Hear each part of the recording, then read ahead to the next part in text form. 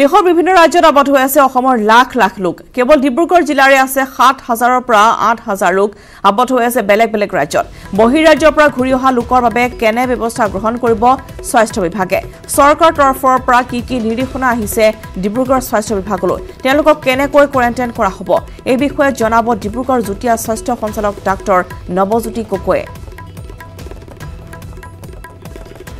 পোনপটীয়াকৈ কৈছোঁ টমাছৰ কাষলৈ টমাছ আপোনাৰ কাষলৈ আহিছোঁ। কি ব্যৱস্থা গ্ৰহণ কৰা হৈছে স্বাস্থ্য বিভাগৰ তৰফৰ পৰা অধিক আপোনাৰ পৰা জানিব বিচাৰিছোঁ।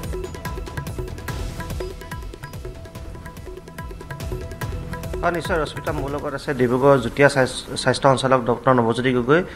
আমি তেওঁৰ পৰা পোনপটীয়াকৈ জানিবলৈ চেষ্টা কৰিম। আৰু ইতিমধ্যে বহিৰাজ্যৰ পৰা কিছু সংখ্যক লোক অহা আগন্তুক দিনবিলাকত আহিব।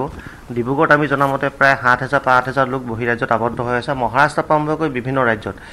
এতিয়া যিসকল লোক বাহিৰৰ পৰা আহিব তেওঁলোকৰ ক্ষেত্ৰত কেনেধৰণৰ ব্যৱস্থা গ্ৰহণ কৰিব বা চৰকাৰৰ ফালৰ পৰা কেনেকুৱা ধৰণৰ নিৰ্দেশনা দিয়া হৈছে? বাহিৰৰ পৰা যিমানবিলাক মানুহ আহিব যিটো সংখ্যাটো পৰিসংখ্যাটো আমি সঠিকভাৱে নাজানো এতিয়াও প্ৰায় সাত হাজাৰ পৰা আঠ হাজাৰলৈকে মানুহটো আহিব। আহ, এই মানুহসকলক মানে আমি স্ক্ৰিনিঙৰ ব্যৱস্থা কৰিছোঁ ইয়াতে। প্ৰথম ৰিজনেল যোৰহাটত হ'ব পৰীক্ষা। তাৰপিছত আমাৰ ইয়াতো আমি তেওঁলোকক পৰীক্ষা কৰিম। তাৰ কাৰণে মেডিকেল বৰ্ড আমি গঠন কৰিছোঁ বিভিন্ন ধৰণৰ মানে স্থানত আমি তেওঁলোকৰ এই পৰীক্ষা কৰিবৰ কাৰণে যা যোগাৰ কৰিছোঁ। আহি পোৱাৰ লগে লগে আমি তেওঁলোকক যিবিলাক যিসকল মানুহৰ জ্বৰ বা তেনেকুৱা ধৰণৰ কাহ চৰ্দি থাকে তেওঁলোকক আমি R T P C R test কৰিম ক'ভিডৰ কাৰণে। আৰু তেওঁলোকক ছেগ্ৰিগেট কৰি তেওঁলোকক কোৱাৰেণ্টাইনত ৰখা হ'ব। আৰু যিসকল মানুহৰ কোনো তেনেকুৱা চাইন এণ্ড চিমটম জ্বৰ কাহ নাথাকে তেওঁলোকক আমি হোম কোৱাৰেণ্টাইনলৈ যাবলৈ দিম। আৰু এই কোৱাৰেণ্টাইনৰ কাৰণে তিনিটা ধৰণৰ ফেচিলিটি যোজা কৰা হৈছে। এটা হ'ল ইনষ্টিটিউচনেল কোৱাৰেণ্টাইন তাৰপিছত এটা হোটেল বাজেট হোটেল আৰু এটা পেইড হোটেল বাজেট হোটেলবিলাকত আমি প্ৰেগনেণ্ট মাদাৰ্ছ আৰু এল্ডাৰলি মানুহবিলাকক চৰকাৰী খৰচাত ৰখা হ'ব। যিসকল মানে ভালনাৰেবল ছেকশ্যন আৰু যিবিলাক মানুহে নিজৰ খৰচাত হোটেলত থাকিব বিচাৰে তেওঁলোকৰ কাৰণে ব্যৱস্থা কৰা হৈছে। তেওঁলোকে নিজে পে' কৰি থাকিব। তাৰ কাৰণে হোটেলো যা যোগাৰ কৰা হৈছে। আৰু ইনষ্টিটিউচনেল যিখিনি থাকিব কোৱাৰেণ্টাইন চেণ্টাৰ তাত চৰকাৰে বহন কৰিব যিসকল মানুহক তাত ৰাখিব। অৰ্থাৎ ডিব্ৰুগড় ডিব্ৰুগড় জিলা সম্পূৰ্ণ সাজু হৈ আছে স্বাস্থ্য বিভাগৰ তৰফৰ পৰা। আৰু এনেকুৱা ধৰণৰ কিছুমান অঞ্চল ভাগ কৰা হৈছে নি যিহেতু ধৰি লওক মহাৰাষ্ট্ৰৰ পৰা আহিব বা যিটো য'ত মানে কৰোণাৰ আক্ৰান্ত সংখ্যা বেছি বা বেলেগ বেলেগ ৰাজ্যৰ পৰা আহিব তেওঁলোকৰ ক্ষেত্ৰত কিবা ধৰণৰ তেনেকুৱা ভাগ কৰি পেলোৱা হৈছে নেকি?